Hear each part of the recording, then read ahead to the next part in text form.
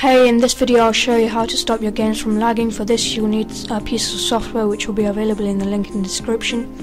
You just go to download.cnet.com and you download this file.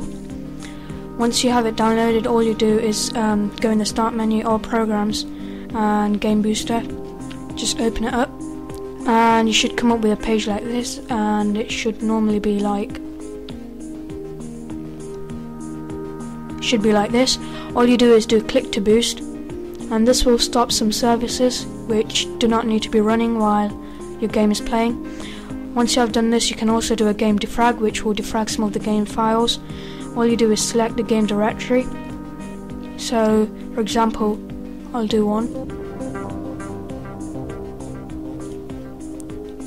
And then you just do analyze and it should normally find some fragmented files but Maybe in this case it won't because I just defragmented it about a couple of minutes ago before this video.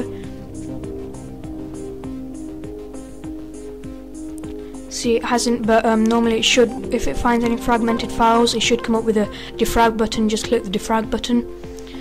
Um, so this should be okay and once you have got this running you just close this and then run whichever game you want to run and then you should have fine. And this is a tip for laptops with ATI graphics card. All you do is um, click on the ATI icon in the taskbar, and um, should be like this. Welcome.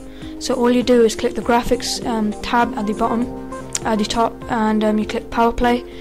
And then usually it should be on battery, maximize battery life, but you want to change it to maximize performance. So this will increase your um, gameplay and will stop any lag that occurs while you're playing. I hope you enjoyed this video and after this there will be a short demo of what happened um, before and after. So before I use this program and before I change that in ATI um, Solution Center, I'll show you what how my game was like and how much it was lagging and how much it was after I defragmented the file and boosted it.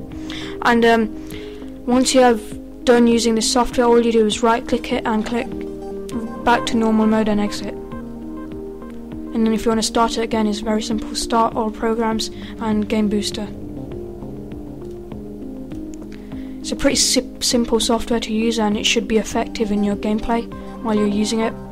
I hope you enjoyed this video and right now I'll show you the after um, before.